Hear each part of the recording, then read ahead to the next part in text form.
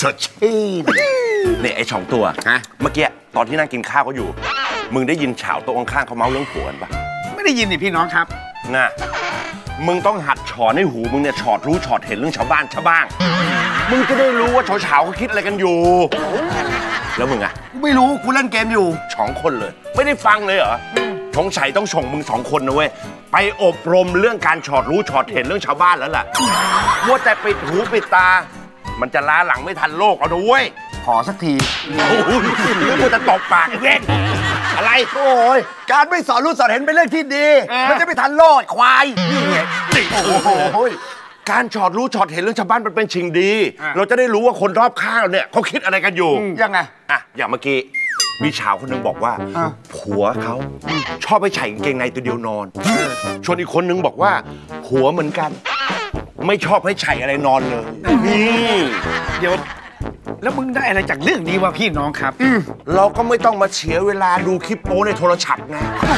เข้าใจปะพอฟังเสร็จปั๊บมึงสามารถจินตนาการต่อได้เลย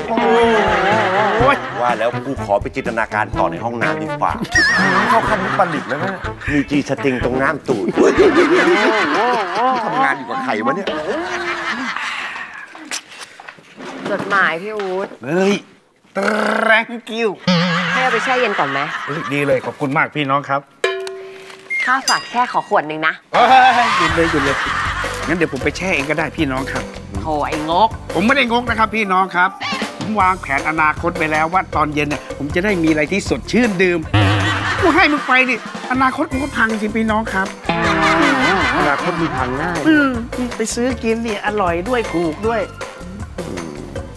เชิญเลยครับ นี่เลยครับ อยู่นี่ชาร์ปอยู่อ้าว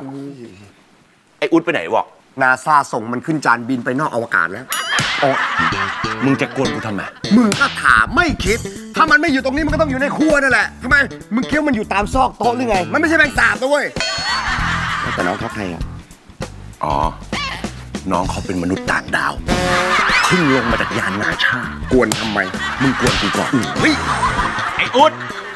มาอยู่ไหนวะ มาแล้วพี่น้อง มีใครเรียกโตโน่เหรอพี่น้องครับ โอ้ยมึงยังโตไม่เสร็จหรอก มีอะไรวะ มีเฉามาฮะ ไม่ทราบว่ามีธุระอะไรป่ะพี่น้องครับ อุ้ย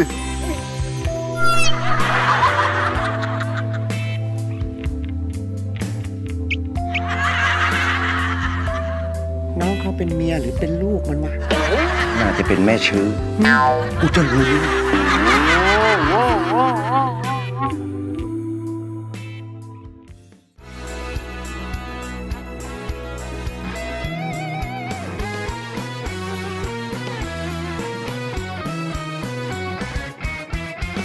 คนเดียวก็คุ้นเคย อยู่สบายจนเคยเลยไม่คิดมีใคร เจอบางคน น่าสนใจ ก็แค่พอพึงใจ